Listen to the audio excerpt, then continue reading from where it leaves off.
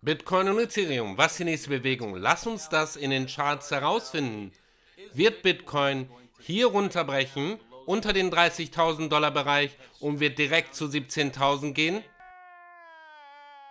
Oder wird Bitcoin nach oben brechen und wird noch weiter nach oben gehen zu den 50.000er Bereich? Wir werden darüber reden und viel mehr in der heutigen Sendung. Also macht sicher, dass ihr dran bleibt und das Video bis ganz zum Ende schaut. Und natürlich auch, ich bin zurück, live bei Twitch. Ist das nicht toll? Ich habe endlich wieder meinen Stromfresser hier, meinen Riesencomputer und der ist endlich angekommen. Den habe ich aufgebaut und ich bin richtig aufgeregt. Ich bin jetzt wieder zurück in Action und ich bin jetzt wieder live bei YouTube und bei Twitch. Und ich bin so froh, dass das jetzt endlich wieder klappt. Dann geht rüber und schaut euch das jetzt auch live bei Twitch an.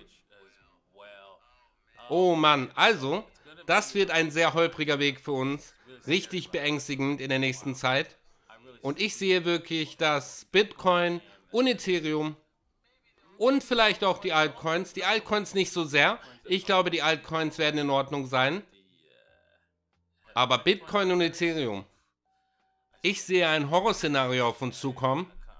Und wir werden auch darüber reden, wie man das traden kann und wie man auch die niedrigeren Zeitebenen traden kann. Also, wenn du interessiert bist, um zu traden, dann könnt ihr das tun, indem ihr rübergeht zu bybit.davincij15.com. Links sind in der Beschreibung von dem Video. Und ihr könnt, ich glaube, das sind ja 1000 Dollar, 2000 Dollar an Bonuses, die ihr verdienen könnt wenn ihr den Links folgt. Und schaut euch das an in den Beschreibungen für mehr Informationen.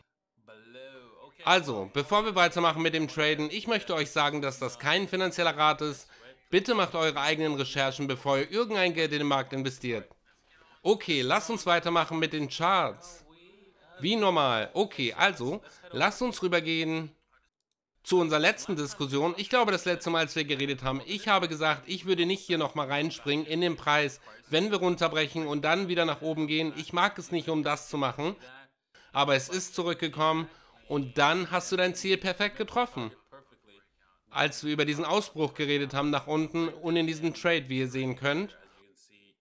Und boom, du hast genau dein Ziel getroffen, hättest deine Profite hier genommen. Also, weil es kommt wieder zurück nach oben. Also, ja, das kommt wieder direkt auf dich zu und leider, schau dir das an, schau dir diesen Trade an hier. Könnt ihr das sehen? Und dass auch wenn Bitcoin sehr viele Leute auf der Welt verletzen wird und einfach dafür bestimmt ist, wir sind eigentlich bestimmt, um nach unten zu brechen hier. Keine Garantie natürlich, aber das ist das höchstwahrscheinliche Szenario. Aber trotz allem nicht bevor wir auch den letzten den allerletzten Bullen kriegen, um sie alle glücklich zu machen, um sie alle einzusaugen, um sie alle einzusaugen und sie alle auszulöschen. Ein letztes Mal, weil das ist einfach so, wie der Markt funktioniert. In der Realität. Und eigentlich versucht er, das meiste Geld von den meisten Menschen zur meisten Zeit zu nehmen. Okay, also, der beste Weg, um das zu tun, ist, um deine Aufmerksamkeit zu bekommen und aufgeregt um in den Markt reinzuspringen. Und das Beste, um das zu tun, ist, um die Preisbewegung direkt hier hochzubringen, wo der Ausbruchsbereich war. Und alle denken sich, ja, es geht nach oben, es geht nach oben. Und dann tut es das nicht. Also, ja, lass uns, ich meine, es ist noch möglich, dass die ganzen Einzelhändler ein Loch dadurch schießen, durch die Spitze hier, und das ist nicht unmöglich, dass das passiert. Und das ist schon mal passiert.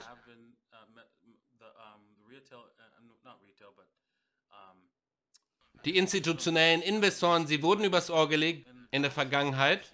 Ihr könnt das sehen mit GameStop und noch ein paar anderen. Aber die Möglichkeiten sind sehr gering. Also, okay. Also das wäre dein Trade hier. Für dein... Für dein Long Trade. Und lasst mich sehen, genau hier, das ist der Ausbruchsbereich. Also ein 2 zu 1 wäre ungefähr 2 zu 1. Lass uns das hinkriegen. Boom. Also, nicht ganz.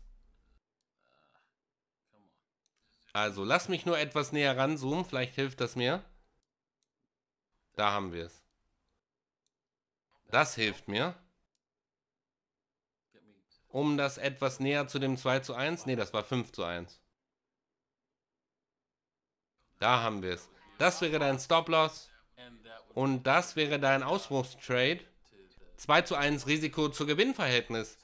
Und das sollte uns in die Nähe zu dem Ziel bringen, wo ich wirklich glaube, wird das Ziel sein von Bitcoin. Und ihr könnt sehen, mit diesen Übereinstimmungen von dieser Preisbewegung hier mit dem 13. EMA und dem 200 EMA, Moving Average, nicht EMA, mit dem 200. Moving Average, was sehr kritisch ist, dieser Wendepunkt hier. Und ihr könnt sehen, dass die tägliche Chart da durchgebrochen ist und davon abgeprallt ist. Und wir müssen das vielleicht nochmal testen, bevor wir dann runtergehen. Und dann werden wir etwas darüber gehen, glaube ich. Und dann weiter nach unten dampfen. Das passiert sehr viel, also seid nicht überrascht. Ich sehe nicht, dass wir eine tägliche Kerze über diesen 200 Moving Average schließen werden. Also ich glaube, dass es wirklich nur jede Bewegung über den 200 Moving Average bis zu dem 42.000 Dollar Bereich, dass das nur eine Wick sein wird und dass es nicht sehr lange anhalten wird. Also das bedeutet nicht, dass es nicht möglich ist, dass das passiert, aber das ist einfach das höchstwahrscheinlichste Szenario, was hier in der nächsten Zeit sich entwickeln wird. Und dann, und dann, ja, dann ist es Licht aus. Oh Mann, sie lieben das mit uns zu machen, aber es gibt Nachrichten und gute Nachrichten natürlich. Weil wenn du dir das ansiehst, du siehst ein kleines W hier, was sich hier bildet. Nicht das schönste W, aber das ist ein W. In dem Sinne. Und du kannst sehen, lass uns runtergehen auf die vierstündige Chart. Hier ist es ganz klar, dass wir hier ein W geformt haben und diese Bewegung hier ein W formt, was hier der Ausbruchspunkt wäre, das wäre bei den 40.800er Bereich. Also lass uns sehen, wie das sich mit der Zeit entwickelt. Entschuldigung, dass ich unterbreche in der Mitte dieses Streams, aber geht rüber zur Blockfile, Schrägstrich DaVinci J15 und ihr könnt 250 US-Dollar im Bonus erhalten und auch 8,6% Zinsen auf dein Krypto. Kennt deine Risiken und ihr könnt auch Krypto da traden. Plus ihr bekommt Zugang zu einer Kreditkarte, womit ihr euer Krypto ausgeben könnt. Links sind in der Beschreibung von dem Video.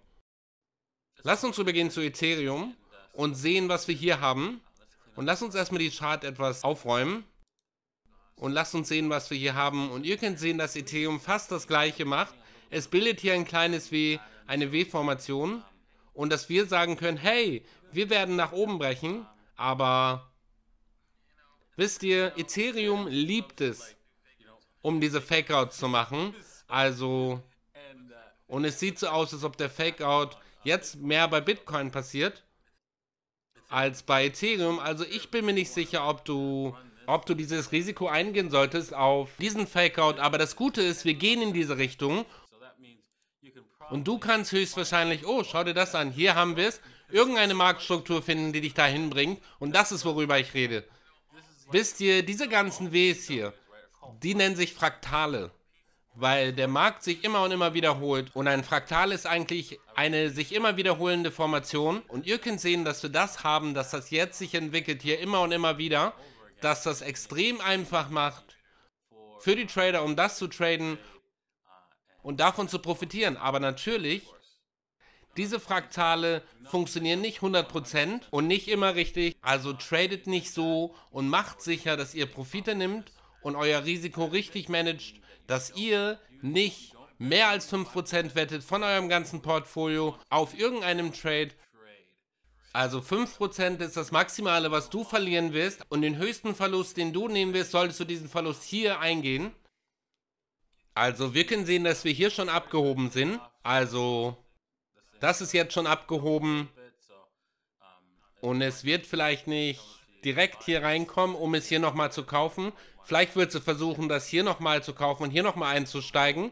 Wenn er hier nochmal zurückrollt, aber das mag ich nicht. Normalerweise lasse ich den Zug fahren, wenn ich ihn verpasst habe. Also es liegt an dir, ob du das so spielen möchtest. Dieses Risiko zu Gewinnspiel. Und das ist nicht, wie ich es mache. Okay, also mit dem gesagt, das ist alles, was wir jetzt machen werden mit Ethereum. Ich glaube, Ethereum wird, wird hier nach unten rollen. Aber, oh Mann, wenn ich euch zeigen würde, wo ich glaube, könnte Ethereum hingehen, in die Abwärtsbewegung. Die Abwärtsbewegung und die Bereiche sind einfach nur absolut verrückt.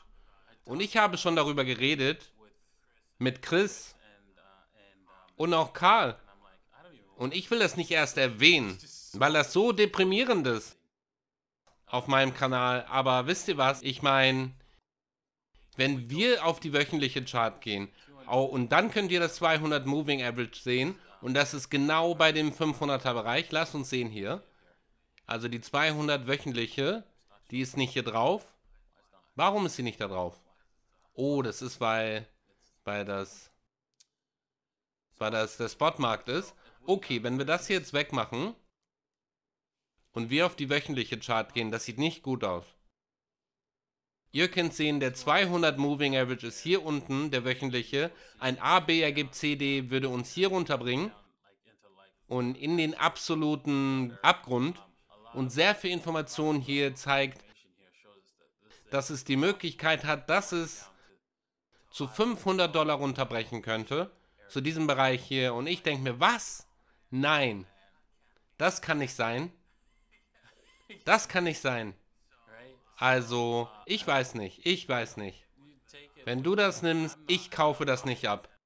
Ich kann das einfach nicht abkaufen, dass das passiert. Ich werde das verweigern. Entschuldigung. Ich werde das nicht glauben, dass Ethereum hier runterbricht bis zu diesem Bereich. Basierend auf die technische Analyse. Ich kann das nicht abkaufen. Ich meine, die technische Analyse, ich meine, es gibt immer eine Möglichkeit, dass es komplett falsch ist. Also ich werde das akzeptieren zu diesem Zeitpunkt, dass es falsch ist. Und es einfach dabei belassen. Und ihr habt das hier zuerst gehört, dass es diese Möglichkeit gibt, dass es den ganzen Weg hier runtergehen könnte. Oh Mann, das wird wahrscheinlich nur eine Wick, aber trotzdem. Autsch. Ich will das nicht sehen. Oh Mann. Das ist das schlimmste Szenario natürlich. Für Bitcoin wäre, nur um dahin zu gehen, also das wäre, wir können sehen, dass Bitcoin den ganzen Weg runtergeht zu 17.000. Eine Wick bis zu 17.000 zu diesem Bereich. Also den 17.000er Bereich. Und ihr könnt sehen, dass bei dem 20.000er Bereich offensichtlich richtig heftiger Widerstand ist. Und ich fühle, und ihr könnt sehen, genau hier, da ist sehr viel Handel in dem Bereich gewesen, in dem 17.000 Dollar Gap Bereich. Und ihr könnt sehen, dass es höchstwahrscheinlich da sein wird, dass wir eine Wick in diesem Bereich sehen werden. Und dann werden wir wieder nach oben gehen. Wenn das passiert natürlich, in der kurzfristigen Zeitebene im nächsten Monat, wir haben jetzt Ende des Monats, Ende Mai, wenn wir sehen, dass das im Juni passiert, ich glaube, das wäre das Ende des Bärenzyklus und ihr könnt sagen, das war's, wir gehen jetzt nach oben und du kannst deine Kauforders irgendwo in den 17.000 Dollar Bereich setzen oder um den 17.000 Dollar Bereich und du weißt, wenn du das triffst, dann hast du den Boden getroffen. Ich würde nicht für 17.000 gehen. Das wäre einfach nur das Horrorszenario. Also ich würde das da drüber setzen, über den 20.000 Dollar Bereich, 22, 23.000 Dollar, wenn du es kaufst, um es zu halten. Danke, dass ihr alle hier wart. Das war wirklich eine tolle Sendung. Ich schätze das wirklich sehr und hoffentlich sehen wir uns morgen. Macht sicher, dass ihr gefällt mir drückt, abonnieren und die Glocke.